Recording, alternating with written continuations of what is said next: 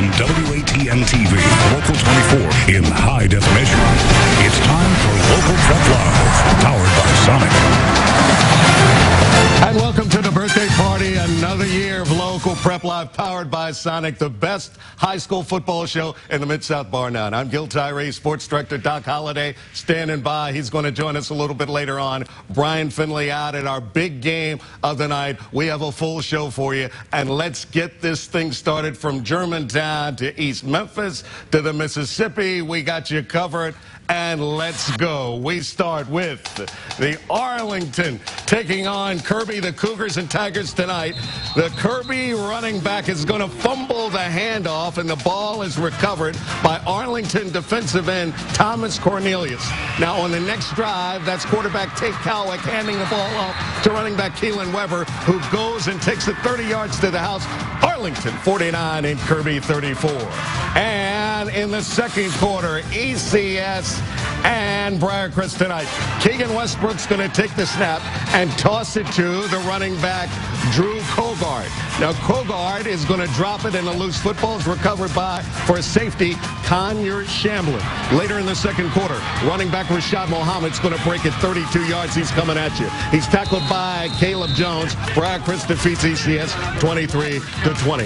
Now let's punt to our sports director, Doc Holliday, who was at the LPL Central versus MUS. Doc, it's all yours. Thanks, Gil Tyree. MUS and Central both have high hopes heading into this football season. Tonight, those hopes meeting up at the Owl's Nest. End of the first half, MUS threatening, but check out Steven Regis as he finally, he is going to get it, but he is going to be snatched and picked off by Anthony Taylor. MUS up 7 0 at the break.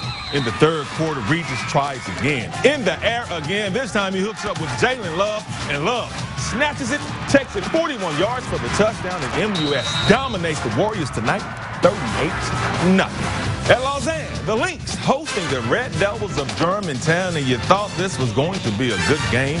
It was a good game for Lausanne. Opening kickoff, those Red Devils start off on fire. Rodney Williams, he is going to field his kickoff return, and he is going to find a lane after slipping, and he is going to what you call get gone.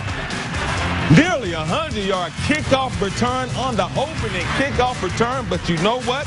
That will be Germantown's only score of the night because Lausanne rolls.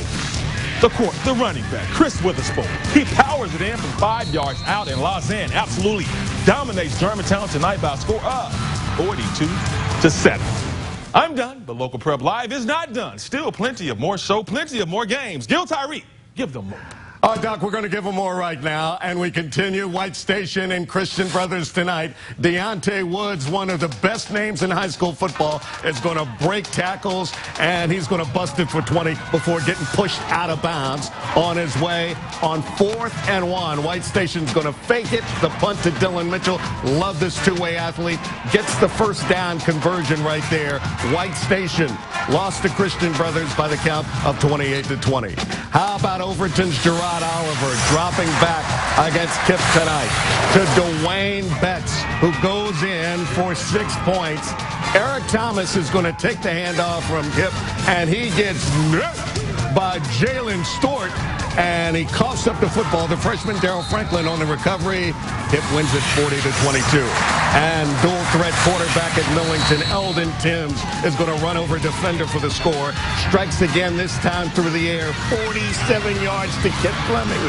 Millington takes it 42 to 12. We're not done. Time for a quick break, so don't go anywhere. Still much of the LPL left.